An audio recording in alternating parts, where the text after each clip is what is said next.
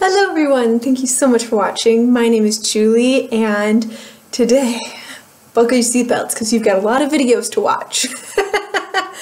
I am doing the collab 12 Pans of Christmas. And there are over 40 women on Instagram and YouTube doing this collab. And I love it. I absolutely love it. I think this is the best thing I've done all year. on YouTube at least. I've just had so much fun. I've watched so many women's videos and I've just liked them, I've commented, you know, I have a whole host of new uh, people I am watching really use up amazing products and just hearing new reviews and everyone is so real that's doing this collab. You know, everyone is I don't know if there's any professional YouTubers doing this collab. There might be one. I think Lisa Stevens. And if you haven't watched her, she used to work at Sephora and she just has fantastic skincare recommendations. If you like skincare, you have to watch Lisa. She just does an amazing job with it. Um, but I think she's the only person who does YouTube as like her full time job. But she does it because she's a mom and so she couldn't keep working at Sephora with the crazy hours. Nevertheless, I found so many wonderful women doing this. Here is my first update. I'm only going to be doing one update because, you know, there are 12 products and I've only had two months to do it. So this is my first month in. I have not used anything up, but man, I've gotten some good use on these things. So let's jump in. All of my products are based on movies. I have them all written here on my little cheat sheet, and we're just gonna dive right in. So the first movie was The Holiday, and I picked a summer item thinking I'm gonna go on holiday, and I chose this Bare Minerals lip gloss in Tangerine Glissé. This is their old school ones from holiday packaging. This is where I started, this is where I am now, and you might see yeah, you can see a little air in there. Nice. So I've only used this for about one week and I'm really excited that I've made this much progress. Now, I haven't decided if I'm going to pull the stopper on this yet because last time I pulled the stopper on one of these minis, I had about two weeks of product like hidden up here where the stopper is. So I don't know if I'd be able to finish this by, by um, I don't know if we're going for Christmas or the 1st, by the way. I'm calling this the 12 Pans of Christmas, so I'm going to stop it on the 25th, which is only a month away. So I'll probably be able to use this up. I don't know about this last little bit. We'll see how time flies. this is always the time of year where time this time of year where time just goes so fast. Like there's so much to do. There are all the holiday parties, there are all these events that you want to do. There are all like the special events like trimming the trees and going to concerts and plays and hanging out with family and going to dinners and work events. So that like time just goes really fast. The moral of that story is we'll see what happens. I'm flying back to the States halfway between two, so I might, whatever, we'll see. The next movie is The Grinch, and so many of you told me to watch it. I still have not watched it. Ah, I need to. Okay, is it on Netflix? Because I don't get cable, and I guess I can rent it from the library, but it might be in German. For those of you who don't know, I do live in Germany. Um, I'm obviously from the United States. Obviously, if you can tell from my accent, I'm from the United States, the Midwest. And uh, The Grinch, I don't know. I just haven't seen it. But if it's on Netflix or Hulu, I can watch it here, so that would be great. but for the movie The Grinch, I chose something green. I chose the DKNY fragrance. This is their original Be Delicious fragrance. It has green bottom. And as you can see, let's help turn it right way. Which way is it? There it goes. Okay. I have made lines. So I started up at the top there. And now, okay. Do you see a line here and here? That's where I tied it. So I started here and now I'm down there. I wanted to be at the bottom of this sticker, which I'm now thinking might be a bit adventurous because I do have other fragrances in another one of my project pans. But if I can get like halfway through the sticker, this bottom sticker here, I'd be very pleased with that. Halfway of halfway, so a fourth. Yeah, if I can get a fourth of the way down that sticker, I'd be happy. But I've used a good chunk of it. I must admit, it doesn't smell like I remember it. I haven't used that fragrance in like two years. And no, it's not bad. I keep most of my fragrances in the refrigerator or here, and this room is only has sunlight when I film, so it's not as bad as it seems. Fragrances don't go bad very fast because I either keep them in cool, dark places, I don't keep them in the bathroom, or keep them in my refrigerator. Because I'm a crazy person when it comes to my fragrances. The next movie was The Santa Claus, and I wanted bright rosy red cheeks. If you can see the blush I have on today, it is this one. This is the Maybelline Dream Bouncy Blush in the shade 20 Peach Satin, and help if I square it off. There it is. So I started in this quadrant right here. Take away this little area that I used in the project pan. And this is all I've got left. That's it. It looks like I used about 25% of what's remaining, which I thought is really good. Just a little bit, and you can see, do you see how it's lifting off the pan there? It is definitely drying out. If I don't finish this, I'm just gonna throw it away if I can. If I can like bear to throw it away, because I've worked so hard on this this year. Um, you know when you work on a product for like eight months and you just really want to finally use it up and you just got this little bit left and it kind of like goes bad, you just like use it anyways. That's where I'm at with this blush. So I've got a little bit left on it. Hopefully, I used it up before it goes like really, really bad. There are no hairs in it anymore, so that's a good sign.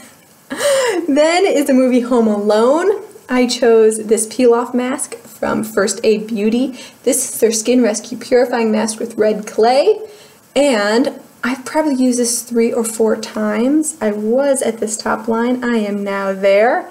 And it has a nice flex to it. I think there's an air bubble in here, to be completely honest with you. Just doesn't feel like as heavy as it should.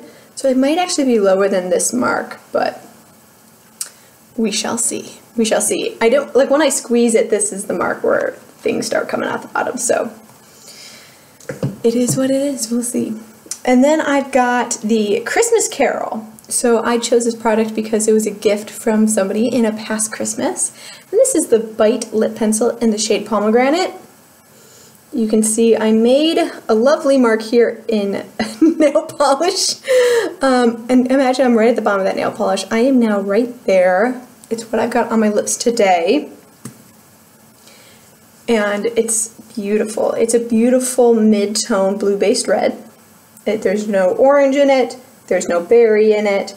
It really is just a red.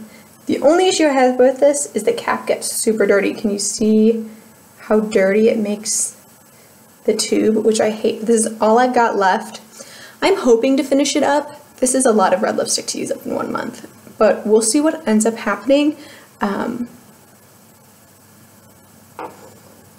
yeah, we'll see what ends up happening, you know. This is a use it up that really has very few rules in terms of a collaboration, so it's really nice. So if I just make good progress on these products, you'll probably see them in 2018 again. My next movie is The Polar Express and I wanted to choose something white with snow so I ended up choosing this travel size Smashbox Full Exposure palette. I chose this little white shade right here and I told you before that I had broken it by accident but look you don't see where I broke it anymore. Like that's how much I've used this. I use this to set my eyeshadow primer and it's just beautiful. It's absolutely beautiful. I know some people hate the Smashbox shadows and I will say this does have a lot of kick up when you put your brush in there but it just does a nice job of keeping everything super neutral on my eyes. So I really, really enjoy that one. I haven't hit pan yet, but I know it's coming really soon. Um, I see I see a nice dip in there. You probably wouldn't be able to see it in the video. My camera doesn't do a good job picking that stuff up, but just know it's coming along. Then I have the movie e.l.f. Of course, I chose something from the brand e.l.f. This is the lip exfoliator, and someone in my last video said, oh, put it in your shower. brilliant. So brilliant. I was not using this, this lip exfoliator. This is the original one. I didn't use it and then I put in my shower and now it's just like part of my shower routine. I'm using it so much more. It's brilliant. Great suggestion. Thank you to whoever you are. You are brilliant. I appreciate you.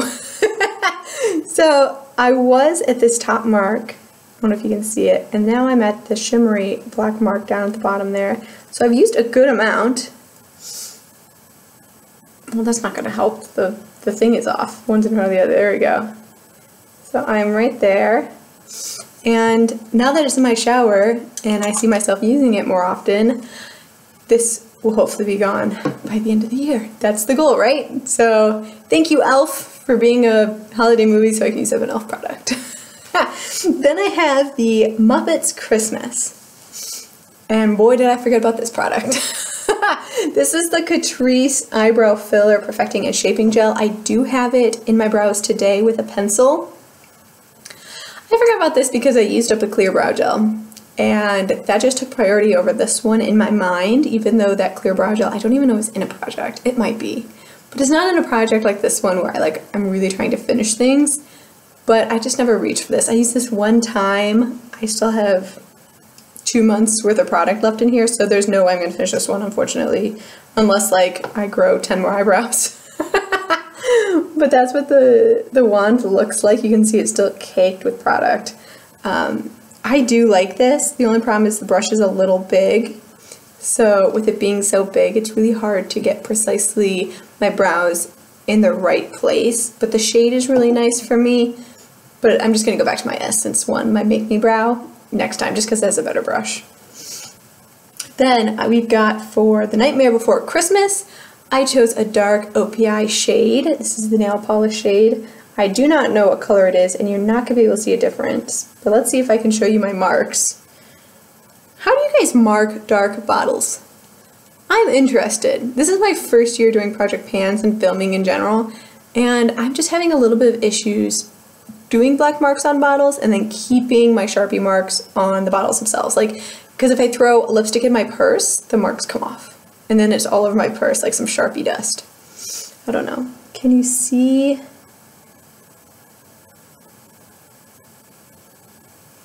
You can't see the Sharpie marks. Okay, well no I use this twice and I probably have two times left to use it. I am there. That's my mark. That's where I was. This is where I am. You can kind of see it a little bit. It helps if I turn it this way. There to there.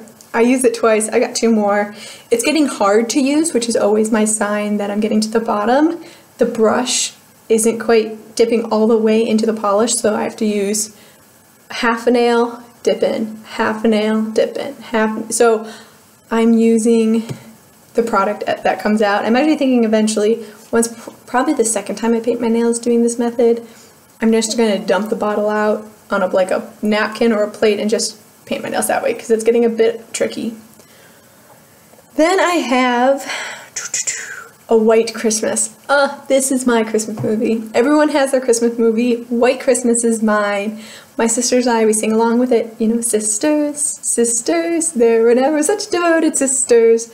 So I chose a product that I knew I was going to love and be obsessed with, and it's very true. This is the Kat Von D Thunderstruck. You can kind of see I have it as my highlight today. It's down the bridge of my nose, a little bit on my forehead. It is just gorgeous. Gorgeous. And I wanted to hit pan on this. Um, it was almost brand new when I started. And are you going to be able to see the dip? See if I can get you really close. Yeah? Uh, don't focus on my face. There. Do you see? I'm just digging a nice little hole in the center.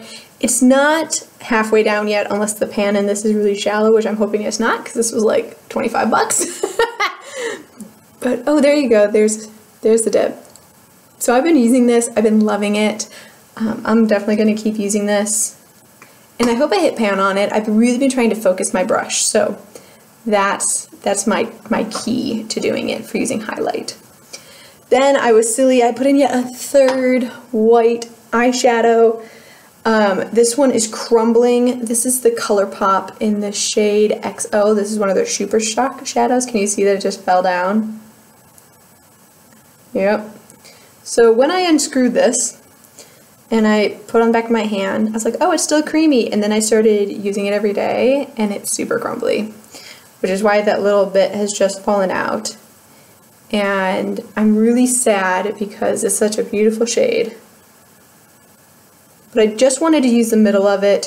What fell out is pretty much the middle of it. I'm going to continue using this, but I think it's time for me to throw it out. I can still, I mean, I put it on my lid today, so I might still, maybe I can repress it. Can you repress ColourPop shadows? What would happen if I put alcohol on this? I don't know. If you know, let me know. I'd be interested in finding out some information about that. And then I've got the ColourPop No then the next movie is A Christmas Story. Oh my god, you guys. I haven't filmed in a week because my parents were here for Thanksgiving and now I can't seem to film correctly at all. I've tried filming this video like three times and I keep messing up, but this time I'm just gonna power through. We're gonna like keep the mistakes where they are and we're just gonna accept the fact that we're all human. I make mistakes, you make mistakes.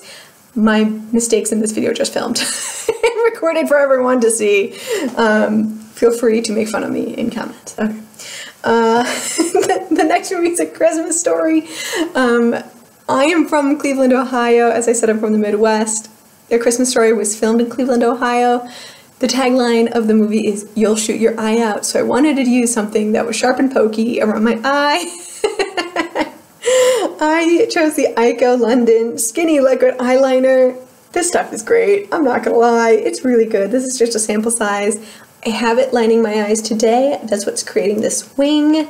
It is really black, it is almost matte. The mistakes are my own. I got a little happy on this side and made it a little thick, but listen again today filming. um, I'm just having a good time with it. And I hope you are too. I hope that you're just laughing along with my ridiculousness. this is super black. I love it. I think it's great. I you know used it two, three times. You can't tell how empty it is, but hopefully by the end of this year, it'll be gone. Um, it is really hard to tell. I've had it for a pretty long time. It's been over about six months, but it's still really black and I've not had any issues using it, so I know it's not near empty, but hopefully it will be soon. um, and then my last one is the movie Love Actually. This is such a feel-good, warm movie. I love it. Jude Law is in it. I find him very attractive. and I know he's not everyone's cup of tea, uh, but he's my cup of tea. so I chose something that was just so Christmassy to me. This is the Body Shop Body Butter in, is it sparkling cranberry? What is this? Frosted cranberry, excuse me. But this is what the packaging looks like. This is just a travel size. And I'd already hit pan on it, but look at that extended pan. This smells so good. I use it all over my body. I use it on my hands, I use it on my feet, I use it on my legs after I shave. And it just smells so good if you like the scent of cranberries at least, I grew up on cranberries. Um, my mom is from the East Coast, and cranberries are really big on the East Coast. They have cranberry bogs. So I just, I think this is great. I'm really excited that I'm using it again. This is getting me into the spirit of things. I'm just going to smell this one more time. I did this in my first video too. I just smelled this for like five minutes. Yeah, it just smells really good and I just want to use it up because there's no need to keep that little bit in 2018. And it was a holiday scent, which is why I didn't use it during the summer. So there you go. There are my 12 pans of Christmas. Please check out all the other ladies. I'm going to have a link down below of a full playlist of their videos. If you have some time, it's really worth watching because to meet so many new people here on YouTube. Thank you for watching my video. I really do appreciate it. I hope you have a wonderful rest of your day.